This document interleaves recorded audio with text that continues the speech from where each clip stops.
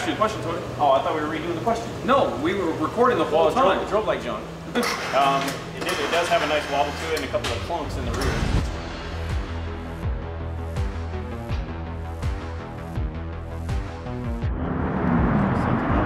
I can see that's tilted for sure. That's that's got the big damage.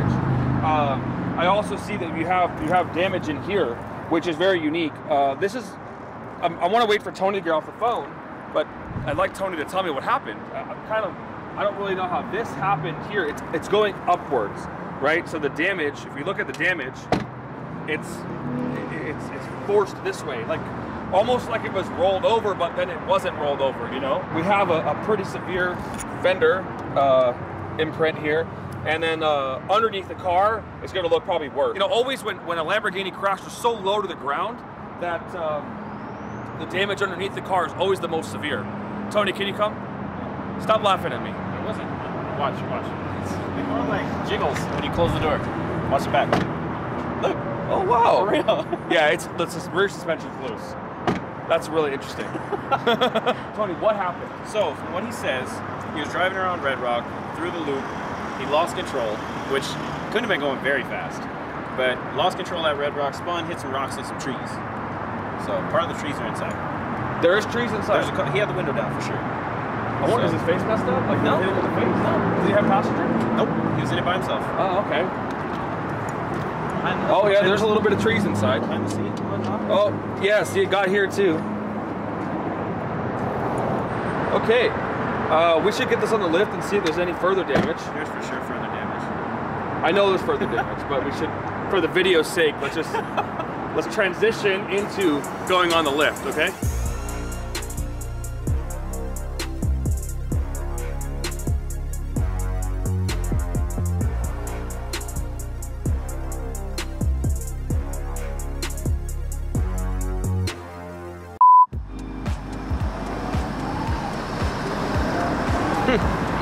Mario, you might have noticed my new Bentley. I did. Why did you get a new Bentley? Well, I got a new Bentley because I feel like I needed a recharge. It, my energy was feeling low, and just you know, being at work all the time, I really felt like I needed a recharge. now, unfortunately, that could be a sign of low testosterone, which the Bentley didn't help. But I can tell you what did help. Hone Health. Did you know that testosterone levels have decreased over the past generations? Like my dad, Mario's dad, your dad has pretty much 25% more testosterone than the generation that we have. If you find yourself feeling tired or you had to pour yourself a couple extra cups of coffee, that's probably a sign of low testosterone. So Hone Health is here to help. There's so many factors such as environmental changes that are affecting our generation. Today, 30 million men in the United States have low testosterone that's affecting their daily lives. Now, I am not a medical expert and this is not medical advice, but the cool part about this is Hone Health is, and they are here to help. Optimizing your testosterone can lead to increased energy, increased muscle mass, more focus, and a better overall mood, which you need every single day. Hone helps men get tested and treatment for low testosterone from the comfort of their own home. The entire process is really easy. All you have to do is collect your sample and mail it back to the lab. Once the results are ready, they'll video chat you with a real doctor and a recommended and personalized treatment plan. Treatment options include FDA approved medications, and everything gets delivered straight to your door. I've gotten my kit in the mail, and the contents inside are super self-explanatory. You have your entire testing kit that comes equipped with your alcohol prep pads, your gauze pads, your band-aids, your blood sample collection kit, everything that you would need. And also, you have your prepaid return envelope, so you don't even have to pay to send it back. So if you're feeling lethargic at work, if you're feeling lethargic at home, what you're gonna wanna do is you're gonna wanna go to honehealth.com forward slash royalty. You're gonna plug in your information, and for just $45, you'll get your at-home test assessment, and you'll get your doctor's consultation today. And as Hone Health likes to say, a new you starts today.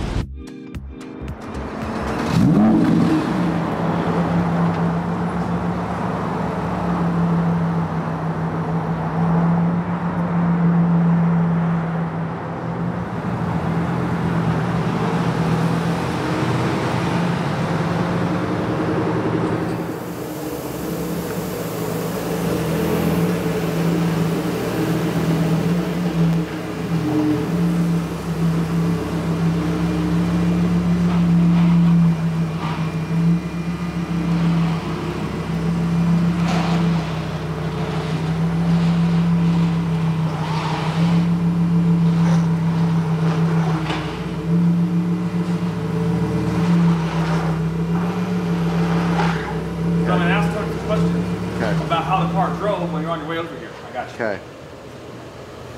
I asked you a question, Tony. Oh, I thought we were redoing the question. No, we were recording the whole Well, it drove, time. it drove like John. um, it, did, it does have a nice wobble to it and a couple of clunks in the rear. So I got about four or five of them.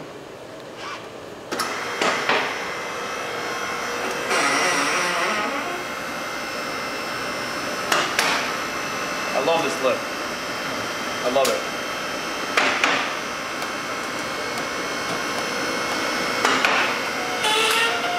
So under obvious uh, look here, the front is destroyed. Uh, I see a bend here. Oh, the the lower front A arm is bent. Let's look around the back. This area of the car, it uh, has a lot of the same damage as the STO. There's a lot of imprints and dents from the rocks on the uh, the, the, the ground uh, that went into the. You ca- probably call it the chassis, right? It's like the monocoque. It's underneath. So right here has a major impact. Where? Um, essentially, see this right here? See this was cracked. Yeah. Directly below it, it's a big rock that went in. Right here too. Yeah, over there I can see that. Nice one right there. The rear, the rear has something bent. Um, this A arm is, or this uh, lower control arm. See how it's pushing down on this? This is bent heavy. Um, these don't ever ride on those. Um, this exhaust pipe right here is is dropped down. The gap between that side of the bumper and this side of the bumper is completely different now. So if you look right here, this is normal, and this is completely open, right? So what that means is it was smashed upward, right? So all of this gap is completely off. Yeah, so you can see it right here. See, this is smashed up and it opens this way. We have to take the wheels off to get a little further inspection, but I would assume that our shocks on this side also damaged. We have obvious door damage, uh, window, uh, interior. There's some rips in the leather from the trees. This car may be totaled, but I, I don't know. It's tough because right now we're, we're in a really big, per, it's a really bad predicament. Um, and, and actually, it's going to be a good intro into this. You cannot get parts for cars right now, okay? Um, hence, this is why I have manufactured all of my own wheels.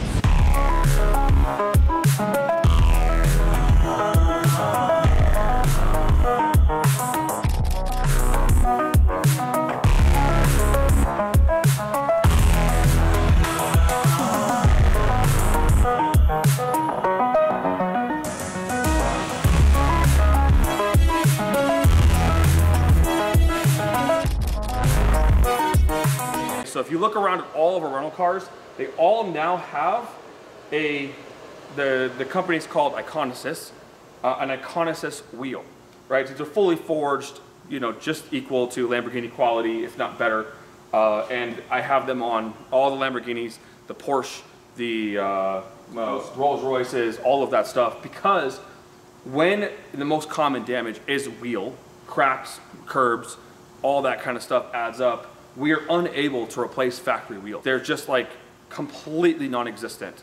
So I took it upon myself and we ordered 600 sets of wheels. I had to meet like MOQs in order to do this. So I kind of inadvertently started my own wheel business. So if you guys go on our website, you can look and see all the wheel designs. But uh, yes, that is why all these have there. So if I had an OEM wheel here, this would be a destroyed wheel. Let's say this car wasn't totaled, and I just need to replace the fender, the rocker, some light damage, and the two wheels. I would be waiting months, not not just months, like six, eight months for a, a Lamborghini wheel. Um, and the bumper obviously is completely trashed.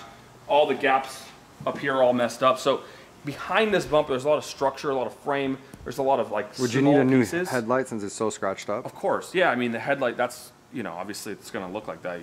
I know, but would they consider that for a new headlight? Of course, yeah, absolutely. I mean that you're going to see this through the light. All these different scratches, they're cut into there. this is like 10 grand.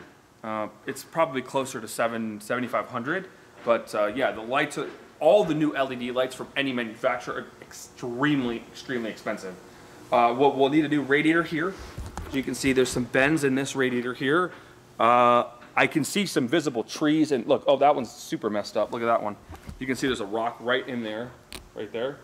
See the bend? First look at this car, the car may only have, let's say, 75,000 in damage. and the value of the car is 250,000. It's not necessarily totaled, but because the parts are unavailable and it would take between six and eight months to get some of the pieces here, the insurance has to pay us for the time that the vehicle is down. It's called loss of use.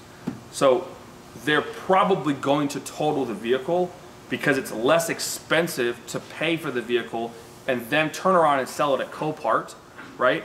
Versus waiting the six, eight month period, paying us the loss of use for that many hour, or that many days, which is too much, um, and then having to risk the car not being ready at that time.